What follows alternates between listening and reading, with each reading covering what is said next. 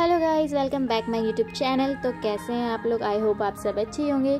तो गाइस, जैसे कि आप देख रहे हैं, आज तो केक है और केक कौन कट कर रहा है? मेरा भाई केक कट कर रहा है। तो हाँ तो आज है मेरे भाई का बर्थडे और हमने ज़्यादा अच्छे से सेलिब्रेट इसलिए नहीं करा क्योंकि मैं देहरादून थी और मैं आई थी थोड़ा लेट शाम को और फिर पापा को जाना था ड्यूटी तो इसलिए हमने जस्ट छोटा सा केक लाया जैसे कि आप देख ही सकते हैं। और हमने बस केक वगैरह कट किया थोड़ा वीडियोस वगैरह मैंने थोड़ा ब्लॉग शूट करा और थोड़ा फ़ोटोज़ वगैरह खिंचाई। उसके बाद पापा को ड्यूटी जाना था तो जल्दी से हमने केक वगैरह कटिंग कटिंग करी और केक वगैरह खाया।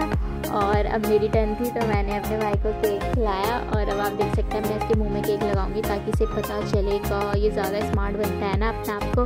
तो गाइज़ आपको मेरा ब्लॉग कैसे लगता है तो आप मुझे ज़रूर कमेंट करके बताइए और अब मिलते हैं आपको नेक्स्ट ब्लॉग में। Bye bye